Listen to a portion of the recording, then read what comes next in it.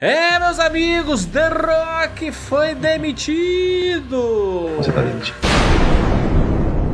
Jura, espera aí. Segundo The Rock, Não. que tá segurando aqueles documentozinhos dizendo ali, ó, esse documento aqui prova que o filme fez lucro, viu? Prova que o filme fez lucro. Ele não foi demitido. Cara. Ele não está nos planos. Eu acho que o filme do Adão Negro, por mais que tenha sido uma realização pro The Rock, ele sempre fala que foi uma realização pra ele, porque ele tava pensando nesse filme há muito tempo. Eu acho que queimou muito o filme do The Rock em Hollywood. Por, por- pe- pelo processo, com, como aconteceu, a briga que ele fez de impor ah, as coisas na DC e na Warner. Os fãs querem, tem que trazer. Aí trouxe Henry Cavill no grito. E aí colocou números falsos no deadline. Do- a, Peraí, peraí. A gente, deadline. não, a gente não pode dizer números falsos, né? A gente pode dizer números equivocados. Ok. Números equivocados. Ô, ô, Rogério, eles fizeram um post, ba- basicamente um publi editorial de uma planilha que foi enviada pra eles, dizendo que o, o Adão Negro deu, deu lucro. E aí a matéria do The, The Hollywood Report de agora diz que o orçamento do Adão Negro fechou em 260 milhões. Cara, Adão Negro custou 260 Não, cara, milhões. Acertou. Ah, miserável. Aonde que tá esse dia? Putz grila. Sério, eu, que foi que aconteceu? Não é possível. eu acho. Rogério, quer o cha- chapéu de alumínio pra dizer que esse dinheiro foi pro pulso do The Rock? Cara, Não, ele deve ter. Assim, era o grande sonho da vida dele, mas ele também Uhum. não deve ter aberto mão de ganhar uma bela bolada com, o- com, de- com o filme em Como, si. como ator e produtor do filme, né? Então, mas, mas assim, o fato é que houve agora um pronunciamento oficial. Cara, que semana, hein? Essas duas semanas na DC, ó. Jurandir, Cara, que loucura. você, você pode não parecer tão alegre assim, pelo amor de Deus, homem de Deus. É porque, é que, na verdade, as pessoas estão vendo os últimos vídeos da gente, a gente falando sobre a DC e tudo. Uhum. Eu, eu tô empolgado com a nova DC. E eu, eu penso assim, passa o, o, o facão, rapaz, né? É, Tira essa tem- galera e começa do zero, Olha, brother. eu mandei pro Juras, eu mandei pro Juras um TikTok de um cara é, interpretando o James Gunn chegando na DC. Isso. E é só o cara, o cara, o James Gunn não fala nada, é só ouvindo. E é só em palpério dizendo, olha, você tem que manter isso, mas fazer isso. Olha, tem que ignorar isso daqui, mas ó, isso aqui também aconteceu. É. Cara, é uma coisa que não tem, narrativamente, não tem como segurar esse universo mais. é, e pelo tem, jeito, favor. realmente. Não, e pelo jeito, realmente deram a- o troço na mão dele e falaram: meu, faz o que você Sim. quiser. O- agora, o que a gente espera também é que. Depois que saírem o, sei lá, o primeiro, o segundo filme, a Warner não queira se mexer de novo no, no bagulho. Isso. Tipo assim, o, o, o James Gunn ter chegar e falar assim: ó, gente, é o seguinte, pode ser que o primeiro, o segundo filme não estoure, porque a gente tá vindo aí de uma ladeira. Sim. É, mas as pessoas vão começar a acostumar. Inclusive, tem um- um- uma coisa bem interessante aqui na minha casa, dentro da minha casa, que é o seguinte: a- a- as minhas filhas, por exemplo, elas conhecem todas as paradas de, de Marvel e, e- e tu- tudo mais, certo? Mas de- aí a gente tava conversando sobre DC outro dia, e aí elas falam assim: ah, a gente, eu não lembro de nenhum filme é, da DC, eu não lembro os personagens. Aí eu fiquei pensando. E, cara, e realmente, se você for pensar nesse universo, obviamente que tem o Batman, é, Superman. né, os Batmans e tudo mais, mas eu tô falando assim, nesse universo de super não tem nenhum filme que você fala, nossa, é o troço que ficou guardado contigo e tal. E é triste, cara, porque são personagens muito, muito fortes, muito queridos, tá ligado? Meu, precisava realmente existir uma coisa coesa e que, fi- que ficasse na nossa cabeça, tipo, por muito tempo, que é o que a Marvel fez, né? Que é, É. cara, 10 anos aí, sei lá quanto que já tá, já tá em 12 Rogério, anos já? é aquela coisa. 12, né? Esses dias eu me peguei surpreso. 14. É, esses dias eu me peguei surpreso porque era o aniversário de 20 anos do lançamento do desenho da Liga da Justiça, que nós aqui sabemos que a nossa geração assistiu muito esses desenhos da Liga. O desenho da Liga da Justiça passava no SBT. Influenciou muita gente, cara. Influenciou muita galera. É, tinha muitos fãs. É, naquela época, era, sabe, esse universo an- animado da DC que vinha de Batman The Animated Series, Superman The Animated Series, é, Batman do Futuro, que ia para o desenho da Liga, cara, era o. Era o MCU. Era o que a gente tinha pra, como comparativo do MCU. E eu, eu Exagero. juro. Não, não é exagero, Juras. Não é exagero. E eu juro, eu não entendo como a DC começou isso, sabia como fazer, ela não. Cara, desculpa esse pequeno. É, de- desculpa esse pequeno rant aqui, mas olha, Ao contrário da Marvel, que cedeu todos os medalhões pra outros estúdios, tava tudo na mão da Warner. Desde sempre. Isso Desde aqui- quando eles isso compraram. Isso aqui é um, um outro assunto, tá? Um outro assunto a gente conversa Não, mas, em um outro mas, é momento. mas porque- é- eu acho que é importante É? pro porquê que o James Gunn tem que reiniciar tudo mesmo, cara. E, É. e, mano, como que você vai manter um cara desse que tá com, sei lá, mano, o cara tem o. Eu, cara, a gente sabe da história de vida dele, The Rock, cara, porra, fantástico e tal. Mas o ego dele, tipo, inflou demais, mano. E ele achou que ele ia segurar sozinho Todas as a parada. entrevistas, Rogério, todas as entrevistas, ah, a hierarquia da DC vai mudar e não sei o quê. Como, como é que você coloca no grito o personagem, o Adão Negro, o Henry Cavill, é, você tá impondo que é, é, a, é a partir de agora vai ser uma outra coisa, sendo que sab- ele sabia que o Zaslav tava perto de fechar a contratação do Kevin Feige dele, né? Do, da, da pessoa que iria comandar a, da- a DC Studios. E ele acha que a pessoa tinha, ia ter que aceitar. Não, é Henry Cavill mesmo, é Não, isso aí. Se ele, jura, se ele tivesse o pistolão pra isso, o pistolão pra isso se chama, se chama bilheteria. O filme É, até se agora tivesse- não passou. tivesse dado um bilhão, aí seria outra coisa. Ou né? se o filme Outra fosse bom, agora- pelo menos. O fi- Não, Rogério, o pistolão se chama bilheteria, você sabe disso. É, não Você adianta o filme disso. ser bom. O próprio Esquadrão Suicida foi um fracasso do James Gunn, né? O filme. É, ele fez, foi um filme que gastou 200 milhões. E aí? Não deu dinheiro. Foi um fracasso. Mas, mas vamos lá, a notícia principal aqui. Dwayne Johnson admite que personagem não será utilizado no primeiro capítulo da história da DC por James Eu, eu acho isso hilário, eu, eu acho isso hilário. O The Rock, não, não estaremos no primeiro capítulo. É, é aquela coisa que você disse, olha, Cara. de- eu vou, talvez depois role.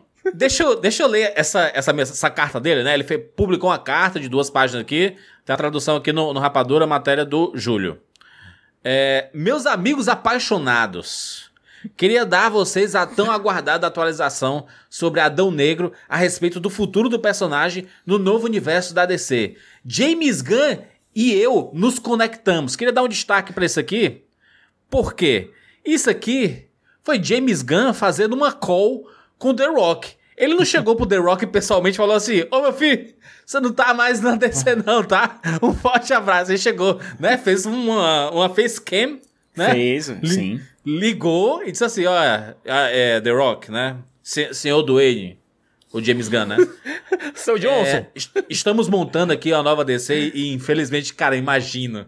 Imagina a cara do James Gunn tendo que chegar pra essa turma inteira e dizer assim: olha, não, não, não queremos contar mais com seus serviços pros próximos projetos da DC, né? E aí ele Olha. continua aqui, ó.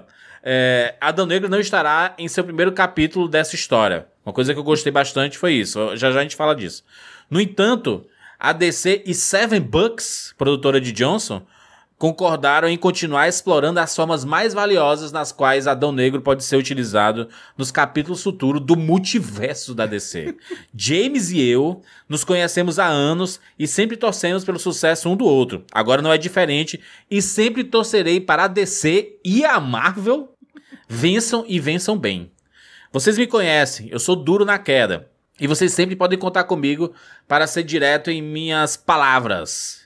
É, essas decisões tomadas por James e pela liderança da DC representam sua visão para a DC, é, pa- para o DCU, através das lentes, das lentes criativas deles. Após 15 anos de trabalho duro e incansável, finalmente pa- para finalmente fazer Adão Negro, estou orgulhoso do filme que entregamos para os fãs no mundo inteiro. Sempre me lembrarei da reação dos fãs de Adão Negro com uma tremenda gratidão, humildade e amor. Nós somos muito bem.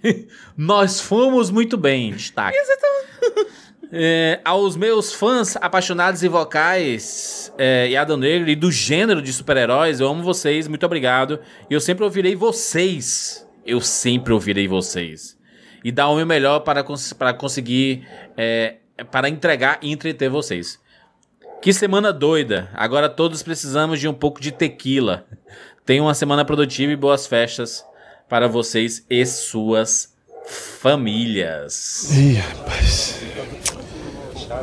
Putz, cara. O Dwayne Johnson, ele fez uma carta dando a esperança de que possivelmente no futuro James Gunn vai contar com ele e com seu Adão Negro. Eu acredito que o James Gunn falou assim: no momento não estamos considerando usar Adão Negro é, E você aqui nesse novo projeto da DC. Quem sabe no futuro. Acho que ele pode ter, ter dado uma dessa, né? Pra não apanhar do The Rock no, na, na facecam, né? Quem sabe no futuro a gente não faça coisas juntos, né? Ele, pronto, vou anotar isso aqui pra o colocar James na minha Gunn. mensagem. Não, peraí, né? peraí, peraí, Juras. É, o James Gunn também fez um tweet, Ah. certo? Também fez um tweet. Deixa eu ver se eu encontro aqui. Mas o, o James Gunn, o James Gunn fez aí um vamos marcar e o Dwayne Fez, vamos, vamos acreditou. marcar bonito. E o Dwayne acreditou. Esse é o pro- Imagina, Rogério, daqui 10 anos, é, quando acabar o projeto do James Gunn e ele faz o multiverso, aí ele chama o The Rock pra fazer aquela festa da firma, né? De vários multiversos da DC. E sabe, e sabe quantos anos tem o The Rock? Ah. Eu fiz, eu tenho um dado aqui, ó. Dados. Ó, The Rock tem 50 anos. Não, Não parece, parece. tá super bem e tudo mais. tá bem. Mas eu, eu acho que, assim, é pra essa primeira fase, deve ser muito mais do que 10 anos. Porque, cara, eles estão começando agora. Aí vai começar as produções dos filmes. Uhum. Né? O, Tipo, os filmes do James Gunn vão sair, o quê? Daqui 3 anos, 4 anos. Ah, Não, acho, acho que daqui dois anos. Dois anos. Mas- A, a, a média de, de, de produção, filmagem e lançamento em Hollywood atualmente tá sendo de dois anos. né? Vamos colocar aqui final de 2024. Mas olha, deixa eu puxar aqui, aqui o tweet do James Gunn. O James Gunn deu um RT na, no, no pronunciamento, na carta. O pronunciamento do The Rock. do- Isso. Deu um RT e colocou: Eu adoro, James, eu adoro The Rock e estou sempre animado para ver o que ele e a Seven Bucks vão fazer a seguir. Não, mal posso esperar para colaborar em breve. Aí colocou um. Caraca, mano. Que. É, é um Cara, jeito também eu- de. É um jeito de não ficar feio pra ninguém, né? Porque. é tipo Rogério, o James dois- Foi tudo, foi tudo em comum acordo, entendeu? Não teve pé na bunda. O James Gunn, ele tá interpretando o personagem do George Clooney em Amor Sem Escalas, em que ele é contratado pra demitir diversas pessoas. Agora, Mas jura? não é possível. Jura, só Mas ele sabe que essa é a parte ruim. Ele sabe que essa é a parte ruim, mas que depois Passa, tudo vai né? ser escolhido por ele. É. Não, e aí depois ele vai escolher o Batman, ele vai escolher o Superman, ele vai escolher, sabe, o, o Adão A Negro nova se Mulher tiver. Maravilha. Mas olha, pera aí, só um segundo. O James Gunn também. Cara, o James Gunn é aquela coisa, né? Alguém perguntou a ele, nessa, nessa thread aqui, nesse fio aqui, perguntaram: é, James, você está aberto a produzir qualquer projeto Elseworlds, que é o chamado Túnel do Tempo, aquelas histórias alternativas, que não estão dentro do universo DC principal? Resposta do James Gunn. Isso está ativamente acontecendo. É, porque os, os, os dos próximos filmes que vão sair. É, É, tanto- o- não, não é só que não isso, são mas- dele. Os quatro Não, ano que isso. vem, é. Não só isso, mas também o Coringa, o Coringa 2 da E o The do Batman. Phoenix E e o o The The, Batman. Batman. São histórias que É. eu acho que vão ser consideradas Elseworlds. Mas isso também abre abre o precedente para que sejam produzidas essas histórias, tu- entre aspas, túnel do tempo, essas histórias Cara, alternativas. não tinha como. Se o- a ideia é recomeçar, não faz sentido ter o Adão Negro do The Rock, não faz sentido ter Não, um não, que aparece claro. no Henry Cavill no final. Não, é isso que eu tô entendeu? dizendo. É isso que eu tô dizendo. Não tô dizendo, não tô falando em relação a manter esse universo DC, cara. Esse universo DC morreu. Já Certo. foi, já foi. Já foi, já foi. Eu tô dizendo é, a gente vai ter um Oficialmente, o que a gente sabe que foram, né? Uhum. Partiu dessa pra melhor. Henry Cavill, né? Bota aí, Joel, de novo aí, bota aí na telinha aí. Henry Cavill já foi. Né? Esse já, Foi, já, já, foi fazer o Warhammer. Foi fazer o já Warhammer. foi fazer lá os brinquedinhos dele lá.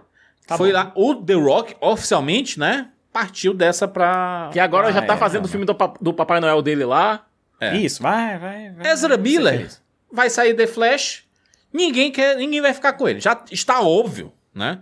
Eles cogitaram trocar o Ezra Miller Mano, depois de ter ele ter filmado o filme inteiro, né? Mano, pra você esse ver The o quão Flash- ruim tá, né? esse The Flash capaz de sair no, no, no, no, no HBO Max. HBO. Não duvido nada. Não, não, mas vai. Até onde a gente sabe, vai sair no cinema. que- Rogério, é um filme de 200 milhões de dólares, cara. Vai Mas, sair. cara, como é que... Eles vão ter que gastar Ó. mais dinheiro com marketing, com um filme que eles não querem, cara. Isso é muita loucura. Eu sei que as pessoas po- podem ficar tristes aí e tudo mais. Mulher Maravilha já 3 já foi cancelado. Perry Jenkins saiu pistola do rolê. Gal Gadot deve A ir. próxima a ter o anúncio, né? O postzinho com o textinho escrito e tudo mais, Gal Gadot, vai ser esse. Porque de cara já tá claro que ela não vai, não vai ser mais a, a Mulher Maravilha. Não, não tem como ser, né? Vai ser um. Se tu trocando todo mundo, vai ter que trocar ela também. Não faz sentido, né? Não, não dá pra faz deixar esse rolê. O máximo Vai que eu ter- acho que ele pode ter- aproveitar. Vai ter o postzinho, vai ter o postzinho daqui a pouco. E já tá ficando clássico isso. O Ben É. Affleck nem precisa, porque o Ben Affleck, no próprio anúncio do, do James É. Gunn, na- naquele próprio tweet do James Gunn, já disse: olha, a gente tá procurando o Ben não pra. A gente teve uma reunião não pra ele atuar, não pra frente das câmeras, mas por trás das câmeras, pra ele dirigir Já avisou que não vai ter Ben Affleck como Batman. Ou seja, né? Já foi Eu acho- um- eu acho que- Aviso. Eu acho Vai- que o máximo que ele pode como diretor. aproveitar. Eu gosto do Ben Affleck como diretor, aliás. É, eu acho que o máximo que eles podem aproveitar é a galera do Esquadrão Suicida, já que foi o próprio James Gunn que. que, que eu acho que também vão rodar, dirigiu. porque, Rogério, vai ter muita gente fula da vida se. Porque eles Se fazem James- parte do universo Snyder, o Esquadrão Suicida do, do Mas- James Gunn, mas- entendeu? Então, mas se você for Snyder pensar bem, só tem a Arlequina. E a Arlequina. É, ela não se- não Não, tem a Amanda a falar Waller, que ela tem, um- tem uma galera, mano. É, a Ela Amanda Waller, Davis, é, tem a Amanda é, tem um Waller, bocado de gente. Esqueci da Tem um bocado- Tem muita Então, gente mas e o pacificador que- tem a Amanda Waller também, bichão. E aí, Vão ele vai. cortar, meu filho. Vai, Vai cortar O pacificador tudo. ele vai cortar também? Vai, tu abraço, meu filho. Já era. Cara, eu acho que pode Rogério, acontecer. tu notou- é se, tu notou é que se des- Você queira. É se desesperadamente eles filmarem Pacificador pra sair ano que vem junto com todos os quatro filmes aí que, que vão sair, né? O Aquaman que vai sair só em dezembro e tudo. E encerrar a Lança série. ano que vem. E encerrar, a dá, série. dá um, dá um final pro personagem e pronto. Cara, e eu, olha, eu adorei Pacificador. Pra mim foi uma das Eu coisas, também. né, uma das minhas séries. favoritas de Eu gostava 2022 muito também. foi Pacificador. Fato. Sabe? Eu adorei, mas não cabe. Se é pra cortar, tem que cortar na carne também. E olha, o Dwayne James, Johnson... James Gunn virou a noiva do Kill Bill. Tá lá com a listinha, ó. As- a lista, o nome da, da, da galera e ele só. E olha, Só o Dwayne. Johnson, bicho, ele passou 15 anos ralando pra esse filme sair. É, saiu, saiu essa semana, agora nos Estados Unidos, uma HQ chamada é, Uma conclusão de uma mega saga que estavam fazendo, que era é, Crise Sombria nas Infinitas Terras. Novamente estão dando outro restart no universo DC. Novidades, né? O, o Adão Negro foi, teve destaque nessa edição. Teve destaque. E foi desenhado com a cara do Dwayne Johnson, só que com cabelo. É, é, ele está. Existia realmente uma sinergia dentro da DC pra fazer Ele o Adão Negro. comprou o Adão Negro da DC, tipo assim. Não, ele- não, não. O jeito que ele fala é como se ele tivesse propriedade do Adão Negro, sabe? Parte das ações do personagem é do Dwayne Johnson. Eu acho que ele, tem, eu acho que ele tentou. Ele não Talvez tentou comprar não. literalmente, mas ele tentou bancar o personagem Do tipo, mesmo jeito cara, que até cara- hoje. Do mesmo jeito que até hoje tem vários desenhistas que desenham o Superman com a cara do Christopher Reeve, sabe? Com as feições do Christopher Reeve. Estavam tentando fazer a mesma coisa com o Adão Negro, sabe? Fazer com que o Adão Negro fosse o, o Dwayne Johnson, entendeu? Em todas as mídias. É, teve aquela ponta do Adão Negro no final de Super Pets, que eu acho que é outra coisa que também vai rodar. Que é uma pena, que eu- foi uma animação que eu gostei muito, aliás, o, o, o Super Pets. E na, na ponta no final, o Adão Negro apareceu com a cara do Dwayne Johnson. Eu, Siqueira, eu, eu boto fé em uma coisa. No texto do The Rock, ele fala sobre o primeiro capítulo dessa grande história que o James Gunn tá querendo contar. Uhum. Ele dá a entender que a, a DC, essa nova DC, ela vai ser dividida em capítulos. Que assim as como a, da Marvel, né? Assim como tem as fases da Marvel, possivelmente vão ser capítulos ou eras, né? Mas eu acho que eras é muito brega, né? Vai ser capítulo mesmo, né? Prime- Primeiro capítulo da nova DC. Aí o James Gunn, ele, ele já falou, James Gunn já falou, janeiro ele vai anunciar a parada. Em janeiro. Tá confirmado já. Ele falou no Twitter aí, assim, perguntaram pra ele, ô, ô James Gunn, em janeiro você vai anunciar quantos filmes? Aí ele falou assim, alguns. E aliás, não, não só alguns, ele, falou alguns rela- relacionados a filmes, séries e, e animações que Juras, sejam. né? é, uma coisa que a DC sempre foi, ela sempre foi baseada em legado, certo? É. Sempre você teve os heróis que combateram na Segunda Guerra Mundial, a Sociedade da Justiça combatendo na, na Segunda Guerra Mundial. Você tem os, a Era de Prata com o Superman surgindo, com Batman. Tô colocando aqui no, no que a gente viu depois, pós-crise, certo? Pós-crise na- nas 27 pós anos 80. É, a gente teve o Superman e os heróis da Era de Prata surgindo. Depois a gente teve a nova geração com os Titãs. A DC sempre foi aquela coisa que um passa o bastão pro outro. Uma era Sim. passa o bastão pro outro. E é uma coisa que nunca pôde ser muito bem trabalhada é, fora das HQs. Nunca conseguiu ser muito bem trabalhada fora das HQs. Talvez a partir de agora, né, com todos os projetos sendo alinhados por uma pessoa, né, no caso uma dupla, né, é, o James Gunn e o Peter Safran, é, você consiga fazer isso, sabe? Inclusive quando chegar ao fim dessa grande saga que está sendo construída, você poder passar para uma outra pessoa, se for passar ou se não for continuar, assim, sei lá, Uhum. sabe? Mas a ideia de que você vai construir de forma uniforme um universo, esses personagens, eu acho até que o James Gunn, é, a gente até falou algumas vezes, Siqueira, começa com Superman, né? Dá o start Uhum. dessa nova DC. Depois vem com os dois filmes com um orçamento um pouquinho menor, para ele poder capitalizar em cima desses filmes. E depois vem os maiores, sabe? Porque é, ele, ele precisa fazer uns filmes menores, um vibe Deadpool da vida, Uhum. sabe? Um filme abaixo de 100 milhões, que seja engraçado, que seja bacana, que seja divertido, mas que entregue essa ideia do que Pegar do que uns tá coadjuvantes ali e trabalhar em séries, por exemplo. Pega Isso. dois coadjuvantes ali e faz uma série pra, pra o HBO Max, ou qualquer que seja o nome do, do serviço de streaming no ano que vem, em 2024. É, eu, eu, fa- eu falo especificamente de filme, porque o filme é o que dá o retorno direto pro estúdio, né? Eu sei, mas Juras, É, lembra que esse plano cinema, do né? James Gunn, ele é multimídia. Ele Multimídia, engloba assim. cinema, engloba animações, engloba séries live action e engloba games também. Mas eu acho Então- que ele vai fazer uma vibe do que a Marvel tá fazendo, que é assim: suas séries e animações são coadjuvantes do cinema, saca? São spin-offs, coisas relacionadas. Não sei se vocês vão colocar o Superman numa série. Não, não como protagonista, mas colocar, talvez uma ponta. Não. Talvez Mas o James Gunn pode colocar. perso- Cara, ele gosta de pegar personagens obscuros, que ninguém É. conhece. E, e- Cara, olha o que ele fez com o Pacificador, cara. Quem conhecia Pacificador? Ninguém. E o Sim. negócio ficou, ficou multimídia pra O caramba. pessoal, assim, a o pessoal conhecia mais, o pessoal conhecia mais o, o comediante que é a versão alternativa do Pacificador por conta de Watchmen. É. O pessoal conhecia mais o John Cena do que o Pacificador, né, mano? Então, cara, eu acho que assim, é a. É assim, é a pessoa certa. Sabe? Agora, Ah. de novo, a Warner precisa ter paciência. E essa é uma coisa que a gente sabe que eles não têm.